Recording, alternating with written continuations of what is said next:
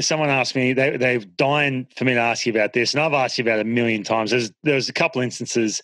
Obviously, you, are pretty fired up on the mound. People can take that the wrong way.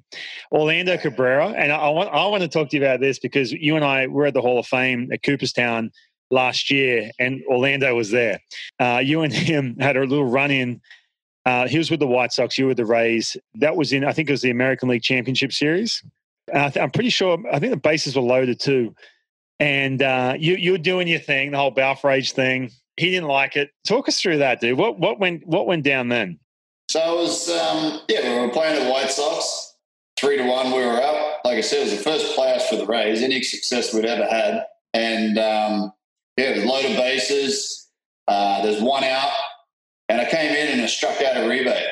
So big strikeout, two outs now. Yeah, and up comes Orlando Cabrera, loaded bases now with two outs. And I threw the first pitch down and away. And then I looked down there and he's, I see this big cloud of dust coming out. That's right, yeah. he, kicked the, he kicked the dirt at me and he was yelling, yelling out at me, so and so challenged me, you know? I was like, what? You're kidding, are you? go, on, mate. you know? Yeah. So uh, we were into it. You know, we had a few words and whatnot. And um, I jumped back up on the mound and I just went straight heaters, mate. I didn't mess around with sliders, nothing. Just right. straight heaters. like screw this bloke. You know, if he's gonna have a go at me, I'm, I'm gonna get, I'm gonna rip right into him. And, you, uh, do, do, you ever feel like though when that happens, it, it, it, it can throw you off your game, or or is that uh, something that just lifts you?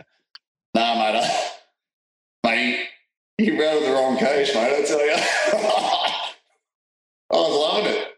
Um, as soon as you did that, uh, I just went, I just went off my rocker and punching heaters in there and punched him out. And as soon as I punched him out, to this day, I remember seeing videos and just pointed at the dugout. I was like, go sit the f- down.